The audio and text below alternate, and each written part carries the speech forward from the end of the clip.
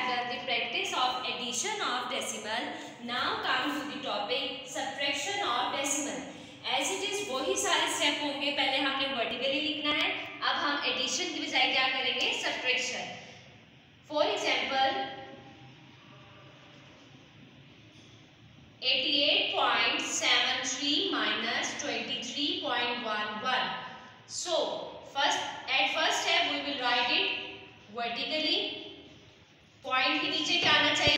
Okay okay, हम इसको इस तरह से वर्टिकली लिखेंगे पॉइंट के नीचे हमारा क्या आना चाहिए? पॉइंट जब आप इसको वर्टिकली इस तरह से लिख देंगे फिर हम लोग क्या कर देंगे? Subtract three minus one two seven minus one six point के नीचे क्या आ जाएगा? Point eight minus three five 8 minus 2 6 so the answer is 65.62 आप लोगों का आंसर तब करेक्ट आएगा जब आप लोग पॉइंट के नीचे पॉइंट लिखेंगे। मीन आप लोगों ने इसको वर्टिकली बिल्कुल ठीक लिखना है। इस तरह से कि पॉइंट के नीचे पॉइंट है। अगर आप ऐसे करेंगे तो आपका आंसर बिल्कुल ठीक आएगा। Now come to another example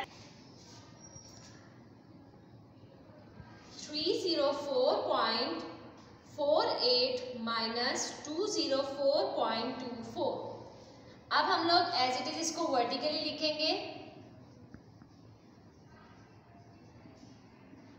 Yes Now we will start subtraction from this side eight minus four four four minus two two point के नीचे क्या आ जाएगा point four minus four zero zero minus zero zero three minus two 1. So answer is 100.24. I hope all of you understand this. Take care. The Hafiz.